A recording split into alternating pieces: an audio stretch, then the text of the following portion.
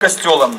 Много раз горел, перестраивался, пока в 1961 году целенаправленный и точно рассчитанный взрыв не поставил страшную точку в его истории.